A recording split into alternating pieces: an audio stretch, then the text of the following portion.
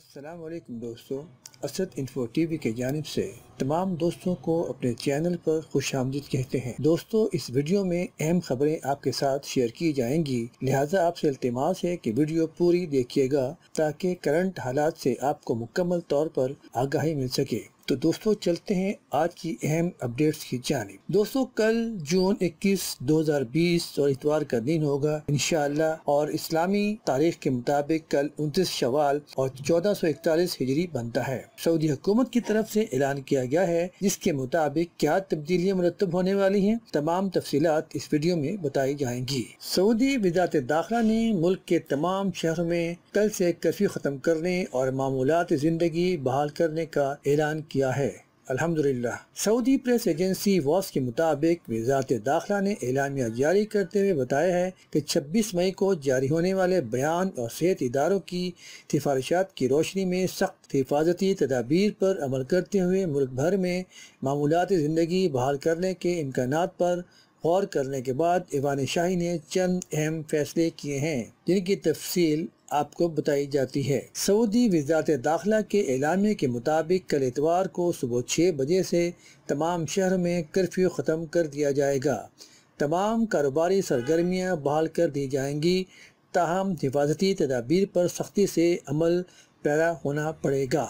लेकिन हाल ही में वजारत सेहत का जो बयान आया है, इसके मुताबिक हालात नॉर्मल होने का ये मतलब नहीं कि वबा का खात्मा हो चुका है, लेकिन जैसे कि आज की खबर है कि चार हज़ार कोरोना के नए केसेस का इंदराज हुआ है। तो इस बात से अंदाज़ा लगाया जा सकता है कि अभी मुकम्मल हालात ऐसे नहीं बने हैं कि हम कह सकें कि तमाम हालात हमारी मर्ज़ी के मुताबिक कंट्रोल हो चुके हैं। चुनाचे इलामे के मुताबिक उम्र और जियारात मुअत्तल रहेंगे। इस फैसले पर वक्फे वक्फे से नज़र सानी होती रहेगी। इंटरनेशनल परवाजें मअतल रहेंगी। इसी तरह बर्री और बहरी हदूद से मुल्क से बाहर जाना या बाहर से अंदर आना हिदायत सानी तक बंद रहेगी।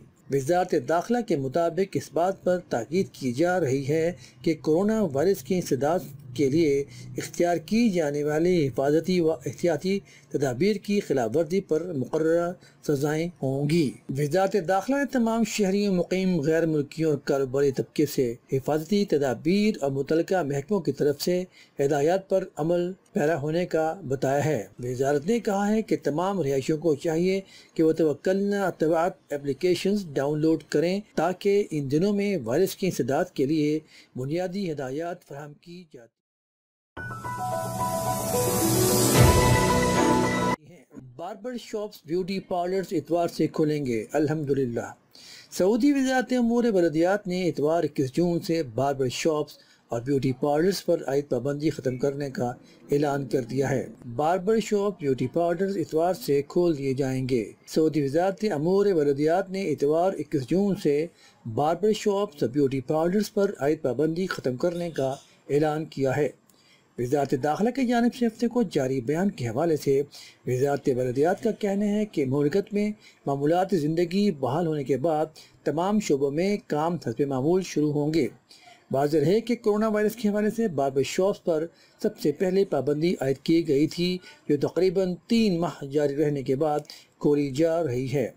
याद रहे कि बार्बर शॉप्स मालकान ने कहा था कि हमें भी एहतियाती तदाबीर के साथ अपना कारोबार शुरू करने की इजाज़त दी जाए। बार्बर शॉप्स के मालकान ने काम बहाल करने के लिए मुताद हिफाजती तजावीज़ भी पेश की थी। इनका कहना था कि बार्बर शॉप्स में ग्राहकों के इंतज़ार पर पाबंदी लगाई जा सकती है।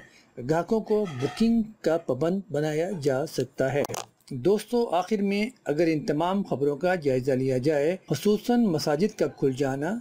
तमाम मुल्क से कर्फ्यू को उठाए जाना और बर्निंग टॉपिक यानी हजाम का दुकानों का खोला जाना। इस बात की गमाजी करता है कि करीब फ़्लाइट का जारी होना और दूसरे अहम काम का सिलसिला इनशाला जल्द शुरू हो जाना यकीनी बात है। उम्मीद है कि जल्द ही सऊदी अरब में तमाम मामूलत ज़िंदगी पहले की तरह नॉर्मल हो जाएँगे।